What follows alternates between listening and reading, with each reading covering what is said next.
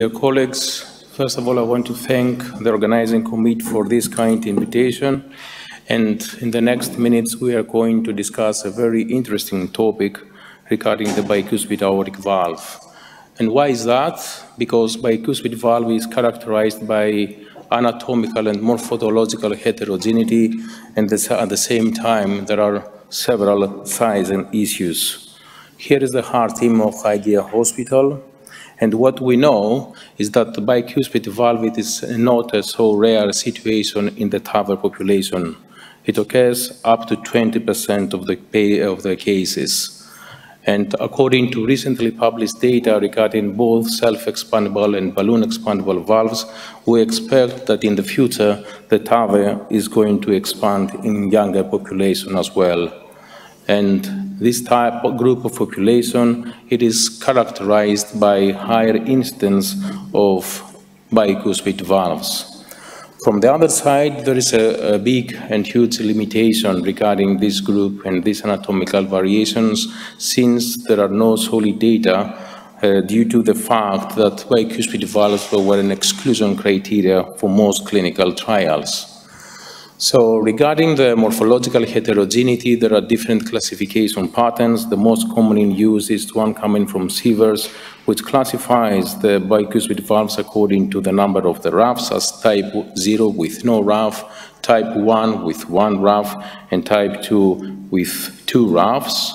And recently it was shown that the most commonly type is the type 1 with left-right fusion, which is characterized at the same time often by an asymmetric non-coronary sinus.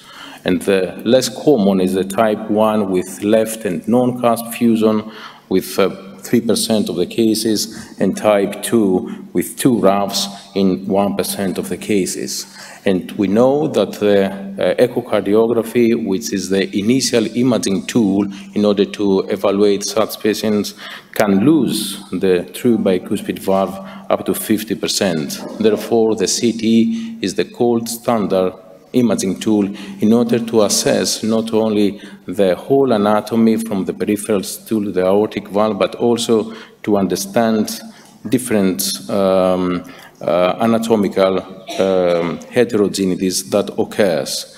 And recently we saw this nice um, publication which uh, classified the TAVR uh, patients according to the bicuspid uh, valve anatomy in uh, according to the leaflet morphology as functional bicuspid valves and true bicuspid valves and the true bicuspid valves are categorized according to the existence of a raphe with raphe type and non-raphe type, the raphe type occurring up to 55% of the cases, and according to the leaflet orientation as coronary cusp fusion and mixed cusp fusion.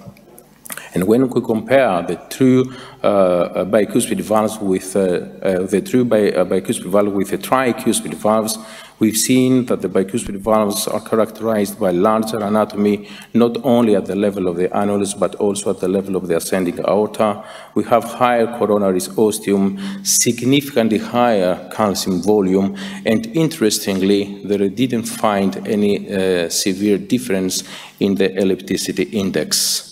Here is a very interesting slide showing the different anatomical and morphological, morphological um, uh, discrepancies between the different types of bicuspid valve. When we compare the functional valve and the tricuspid valve, we see that the bicuspid valves are characterized by larger anatomies at the level above the annulus and characterized by more calcium volume and when we compare the bicommissural true bicuspid valve according to raphe and non-raphe type, we see that the raphe type is, is characterized by larger anatomy at the level of the aortic annulus. However, this, at the level of the sinuses, we see that it's exactly the opposite.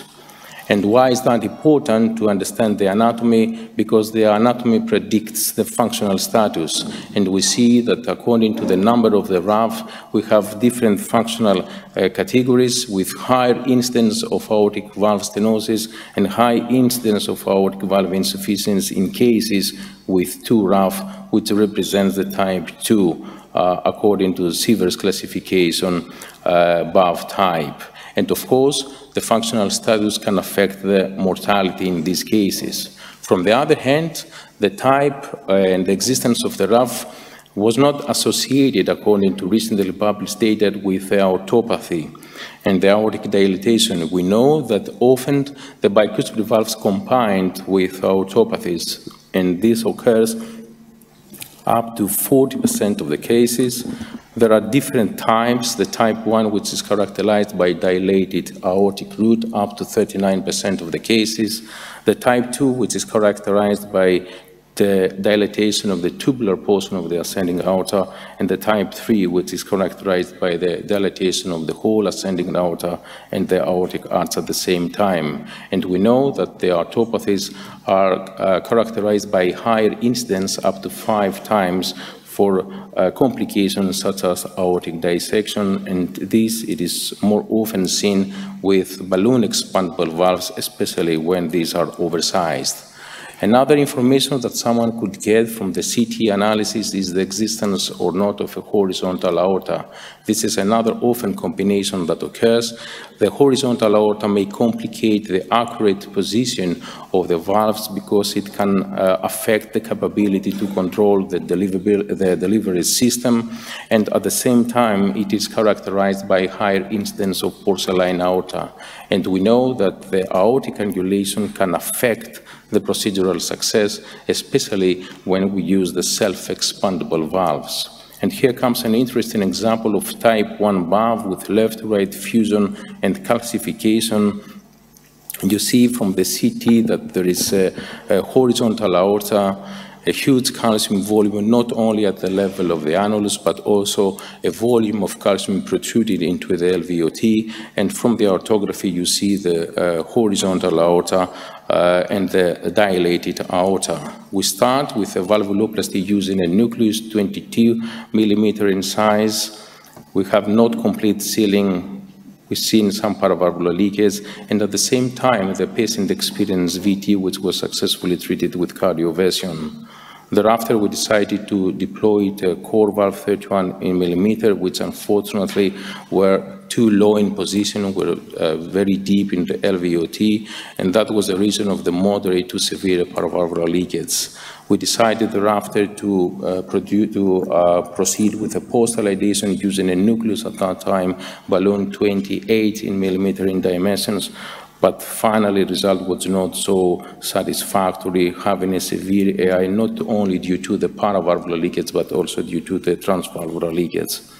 Therefore, we decided the next day to proceed with valve-in-valve with an excellent hemodynamic result with mild paravalvular leakage. So in order to uh, the understanding the anatomy of the bicuspid valve is of crucial point. We have a lot of data showing that the type of the uh, by true bicuspid valve with existence or not of RAF and the uh, calcification volume can affect the centricity of stent frame expansion and therefore the incidence of paravalvular leakage. And we know that the existence of more than mild paravalvular leakage, it is almost two times higher uh, compared to the tricuspid valves, and the need of a second valve in such cases, according to recently published data, it is eight times higher. Another important anatomical information that often we get is the coexistence of coarctation of the aorta. It occurs at up to 35% of the cases. It is more often in type 1 left to right fusion bicuspid valve, and here comes an example of type 0 bicuspid valve with coarctation. According to the anatomical informations, we uh, uh, um, um, decided to proceed with a Sapien uh, three valve, 29 in millimeter in dimensions. There is a lot of calcification at the level of the annulus. The ascending aorta was not so dilated, and of course, the, it was not so uh, horizontal. We start with a valvuloplasty using an Edwards balloon, 23 millimeter, having a complete sealing with no AI, and thereafter, we, uh, due to the uh, balloon valvuloplasty, we decided to undersize using a SAPIEN 3, not 29 according to the anatomical information of the CT, but with 26 uh, according to the result of the balloon valvuloplasty with an excellent hemodynamic and echocardiographic result. Of course, the CT analysis give us a lot of information and there are different sizing strategies. We have already seen the balloon-based sizing strategy. There is also the annulus-based sizing strategy. And from the CT, we take different and various informations at different levels of the aortic root, and we can uh, proceed with sizing based on the intercommissural diameter, four millimeters above the level of the annulus. When we decide to uh, proceed and to size based with the annulus, we need some type of oversizing which must be less than 7 to 10%, and this is more important in Evolut valves. And when do we decide to use a balloon sizing? Here is an example of type 1 left to right fusion raphe calcification, no ascending aorta dilatation, According to the anatomical information, we had to choose between Evolut 29 or Sapien 326. We start initially with the thought of uh, doing the procedure with a Sapien valve. However, during the valve valvuloplasty, we see that there was a great instability of the 20 millimeter valve, which corresponds to the smaller annulus dimensions, and therefore, based on that, we changed our strategy using finally the Evolut R 29 millimeter with an excellent final a hemodynamic result with uh, mild paravalvular leakage. According to the recent published uh, um, um, paper, we see that uh, using the balloon, it is very important for the sizing process uh, uh, in uh, such cases with bicuspid valve. And here is a nice algorithm according to the experience coming from the Asia. You know that Asian population are characterized by higher incidence of bicuspid valve. Another important information that we take by the CT analysis is the dimensions of the intercommissural diameter, 4 millimeter above the level of the annulus.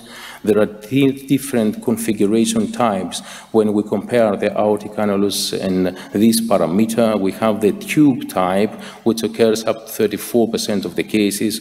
We have the flare type, which occurs in 52% of the cases, and the taper one, which occurs in 14% of the cases.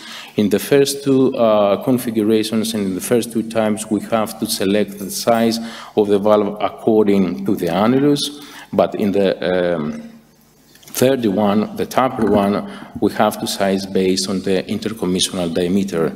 And in that case, we do, must not oversize. Oversizing can increase the risk of complications in such uh, population. According to data coming post-TAVR using the CT analysis, we see that the prostheses we use in this type of population were almost 10% smaller than the mean annulus diameter at the baseline. And echocardiographic data have shown that the effective orifice area, it is smaller in bicuspid population, and there is a high risk of PPM in such population. However, interestingly, the new generation valves shown that they retain the cylindrical configuration in this type of population, and that reflects to the better result with less complication and less need of a second valve. So in conclusion, we can say that the bicuspid valve, it is not so rare situation. It is characterized by morphological and anatomical heterogeneity. The CT is the gold standard in order to evaluate the anatomy at different levels of the aortic root. The balloon sizing, it is important uh, uh, stage and step during the sizing procedure. When we have horizontal aorta, we have to use with caution the self-expandable valves. When we have dilated aortas, which are more fragile and there is high risk of dissection, we have to use with caution the balloon expandable valves, and especially when we uh, want to oversize them. And always we must aim at high implantation for better leaflet sealing. And with that, I want to thank you for your attention.